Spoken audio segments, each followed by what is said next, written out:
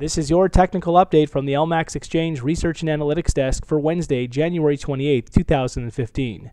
So, after breaking down to a fresh 11 year low at 1098 on Monday, the market has since entered a period of correction to allow for daily studies to unwind from deep oversold levels. This correction could now extend towards previous support at 114.60, with an ideal lower top sought out somewhere below 1680 ahead of a bearish resumption. Sterling dollar. Cable has recently bro- broken back above 150 after trading down to as low as 49.51 this year. The, mo- the move back towards and above 150 has now exposed a retest of 52.70 further up. But a break and daily close above 52.70 would be required to take the immediate pressure off the downside and open the door for a retest of 54.85 further up inability to take out 152.70 will keep that pressure on the downside and open the door for a retest of the 2013 base at 148.13. Dollar yen. Dollar yen continues to consolidate over the past several weeks with the market locked between 115.55 and 121.85 further up.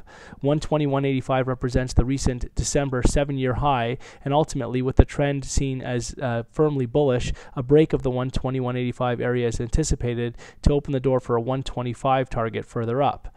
Only back below 115.55 would compromise the bullish structure.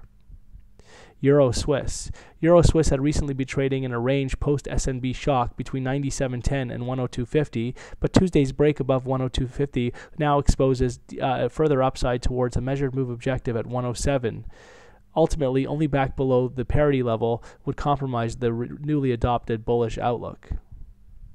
Aussie dollar. Aussie dollar has been locked within an intense downtrend, and the market is now focused on a test of a measured move at 77 further down. Look for current rallies to be very well capped ahead of 82.95, with a lower top sought out ahead of that bearish resumption. Dollar CAD. Dollar CAD has been locked within an intense uptrend, recently trading to plus five year highs at 125. But with daily studies so highly overbought, it isn't. It wouldn't be surprising to see the, the onset of a correction, with the market seen back towards the 10 day moving average, which currently comes in around the 122.50 area. Ultimately, only a close below the 10 day moving average would compromise the immediate bullish outlook. Kiwi dollar. Kiwi has recently broken down below previous 2014 support at 76.09, with the move exposing a measured move down towards 72. Look for any corrective rallies to now be very well capped ahead of that previous 76.09 support in favor of a bearish resumption. SPX 500.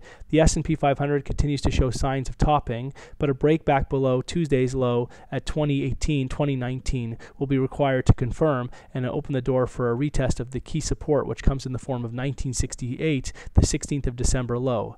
A break below 1968 would do a good job of opening the door for an acceleration of declines down towards the October base at 1820 but a break back above 2070 would, however, put the pressure back on the top side and expose a retest of the recent record highs just shy of 2100.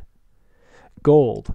Gold is in the process of continuing to recover after breaking out above key resistance at 1256, with the market now focused on a retest of next key resistance at 1345 from July of 2014. Ultimately, any setbacks now should be very well supported by that previous resistance at 1256. That's all for today.